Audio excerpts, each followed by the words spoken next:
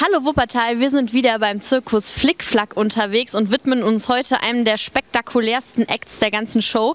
Hinter mir sieht man schon das, diese riesige Kugel hier und in dieser Kugel fahren gleich mehrere Motorradfahrer später in der Show mit ihren Mopeds rum. Und der Cheffahrer der Truppe, Sergio, ist heute hier bei uns. Larissa ist zusätzlich da, die für uns übersetzen wird. Vielleicht kannst du als allererstes mal erklären, Sergio, wie habt ihr denn angefangen, überhaupt diese spektakuläre Show zu trainieren? La primera pregunta es cómo empiezan de practicar ese número. Cuando, eh, hola.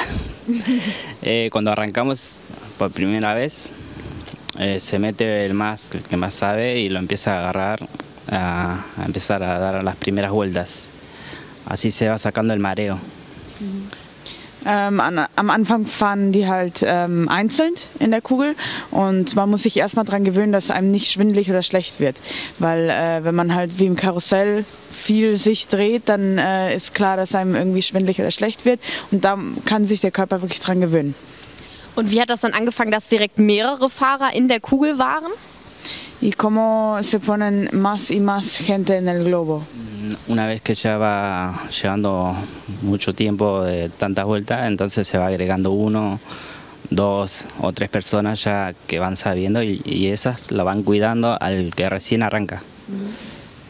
Ähm, bei denen war es jetzt so, dass einige von denen schon lange in der Kugel gefahren sind und dann nur ein paar neue dazugekommen sind.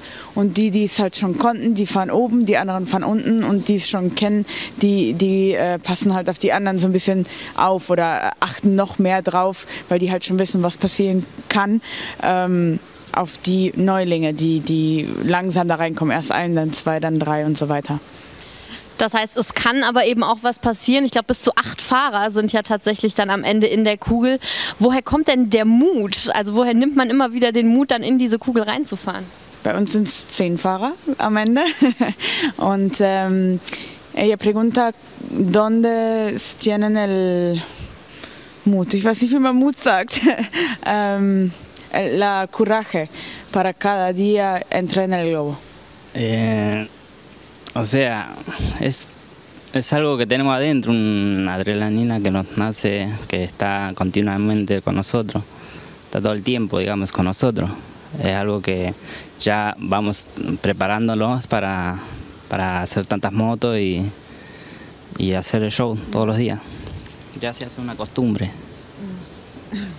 Ähm, als erstes hat er gesagt, die sind schon so geboren und ähm, das ist einfach in denen drin und die hatten halt jahrelanges Training, dass es irgendwann nicht, nicht mehr wirklich was mit Mut zu tun hat, sondern mit Können. Jetzt habe ich gehört, dass äh, für dich, Sergio, auch der Glaube da immer eine große Rolle spielt. Inwiefern unterstützt der dich bei deiner Arbeit als Artist? Qué importante es en creer, en creer en Dios por ti. O sea, cada show que vamos a hacer, eh, o sea, nos acordamos de Dios y eh, los persinamos y siempre estamos ah, acordándonos de Dios para que las cosas los hagan bien.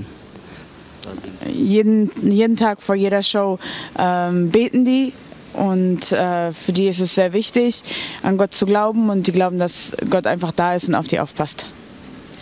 Also der Glaube an Gott und natürlich ein sehr regelmäßiges Training, der dann dazu führt, dass Flickflack auch in diesem Bereich Rekorde toppen kann. Zehn Fahrer sind hier in dieser Kugel, auch heute Abend wieder bei der Show im Flickflack.